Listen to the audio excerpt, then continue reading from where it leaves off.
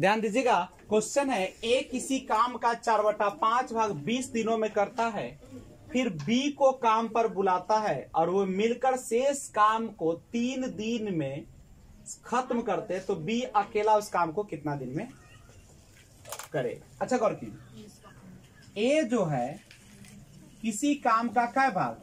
चार बटे बा, पाँच भाग क्या दिन में करता है?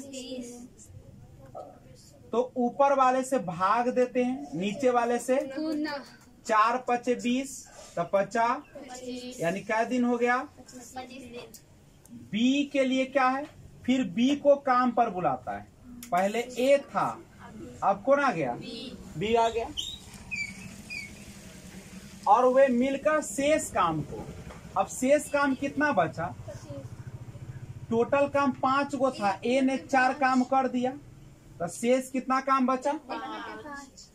पाँच। काम में से चार गो तो ए कहले हैं। तो बी के लिए अब कितना बचा? शेष काम दोनों मिलकर जो करेगा एक बटा पाँच। और कितना दिन में कर देता है दोनों मिलकर? ऊपर से भाग दीजिए तीन और नीचे से गुना कीजिए। पांती आई। पंद्रह दिन। ये ना होगा? तो पूछा किसके बारे में? बी के बारे में। बी कितने दिनों में समाप्त करेगा? अब आपको पता है कि कुल काम निकालने के लिए हमेशा इस दोनों का क्या करते हैं? लगभग पचहत्तर होगा। और एक दिन का जो काम होता है, उसको हम लोग उसका क्षमता कहते हैं। तो पच्चीस दिन में पचहत्तर काम तो एक दिन में कै काम? तीन का। पंद्रह दिन में पचहत्तर काम तो एक दिन का काम कितना हो जाएगा? पाँच। चूँकि एक दिन का काम ही क्षमता होता है। तो बी का निकालना है। तो फॉर्मूला होता है कुल काम कुल काम कितना है? पचहत्तर। अब बटा में उसका क्षमता कुल काम बटे क्षमता।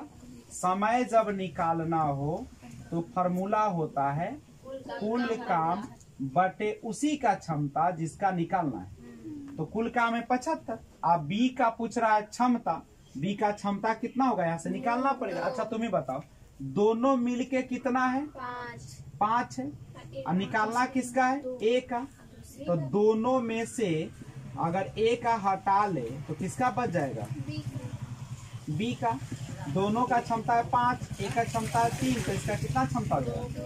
तो पचहत्तर बटे दो यानी कितना हो जाएगा? सैतीस पूर्णांक एक बटे दो। दिन आंसर होगा कि ना होगा? समझ में आया? तो आप लोग ऐसे इसको बना सकते हैं।